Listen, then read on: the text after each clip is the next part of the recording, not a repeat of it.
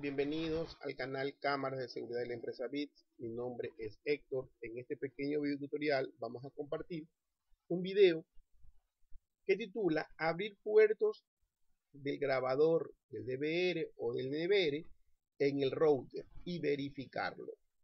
En esta oportunidad vamos a utilizar un router marca Cisco modelo LinkedIn E900. E900. ¿Qué es lo que quiero indicar? ¿verdad? Normalmente cuando nosotros tenemos una IP pública que nos han asignado, ¿verdad? Y nos dicen que tenemos que aperturar los puertos, ¿verdad? La apertura de los puertos y qué protocolo va a utilizar. En este caso, por default viene 192, 168.1.1, es la dirección IP interna que tiene este router marca Cisco. Eh, en el DVR DAWA, que vamos a utilizar como ejemplo, nosotros vamos a disponer, eh, vamos a encontrarle las, lo que viene a ser las partes de conexiones en configuración red conexión. Aquí tengo los diferentes eh, protocolos que utiliza y el número asignado. Este número puede variar y varía dependiendo de la marca del DVR o el NVR, sea High sea DAWA, CP Plus, cada uno maneja sus propios puertos. De la misma forma como vamos a abrir los puertos y lo vamos a relacionar con el DVR marca agua, lo mismo podemos hacer con los deberes High Vision, etc. Eh, nosotros sabemos que en el DVR se va a unir a través de un cable UTP al router. Tenemos la dirección IP, como les comenté, 1.1, que es el router que viene a ser la puerta de enlace, puerta de salida, perdón. Y tenemos 1.127. Vamos a abrir los puertos para que se eh, relacionen. Eh, eh, nosotros vamos a utilizar un software para poder verificar, un software online que lo puedo cargarlo para poder verificar qué puertos están abiertos. Entonces, tenemos lo que viene a ser el protocolo, que es TCP, UDP, HTTP, HTTPS, RTS. Y el número de puertos que utiliza el DVR DAWA. 3, 4 veces 7, 3, 3 veces 7, el número 8, 80, 443 y 554.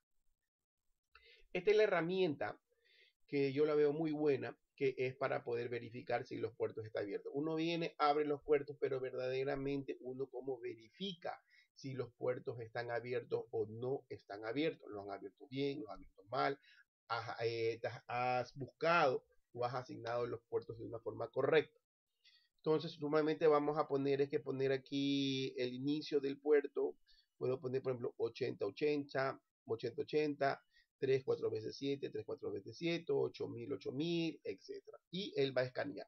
Entonces, como parte de esta práctica, yo lo que primero hago es con respecto al puerto, eh, al protocolo HTTP.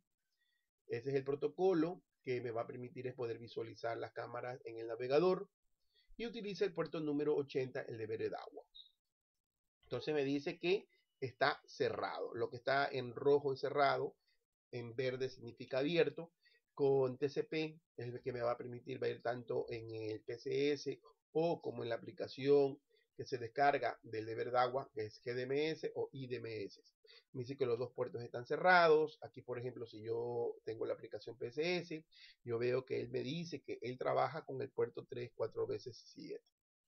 En, en la configuración en la aplicación en GDMS me dice igual que 3, 4 veces el número 7. HTTPS, que es de seguridad, me dice que está cerrado. RTSP también está cerrado. Entonces, ¿dónde yo abro? Estábamos conversando que estamos haciendo como práctica un DVR marca Cisco modelo E900. Me voy a aplicaciones y juegos, como bien lo que está en rojo.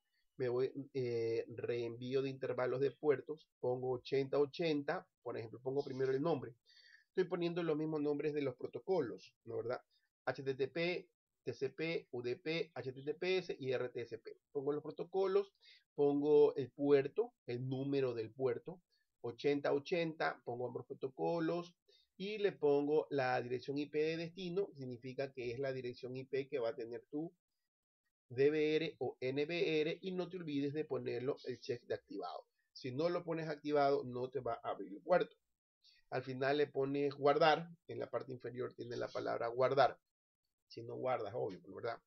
Aquí yo verifico después de haber hecho esta apertura de puertos, me dice que está abierto el 80, está en verde. Me dice que el 3, 4 veces 7 está abierto. Si yo comparo, veo que estaba cerrado. Hace un momento estaban cerrados estos puertos. Ahora ya lo tengo aperturado. Tengo el 443 está abierto y el 554 está abierto. Espero que les haya gustado este pequeño video. Lo veo que es muy importante porque tengo muchas preguntas de cómo apertura, cómo relaciona el protocolo con los números asignados por el DBR para configurarlo en el router. Entonces, una cosa es el protocolo y otra cosa es el número.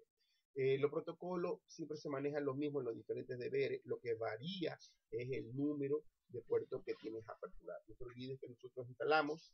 Eh, sería bueno que te suscribas a nuestro canal. Siempre andamos con nuevos videos actualizados, etc. Gracias por la atención prestada. prestada.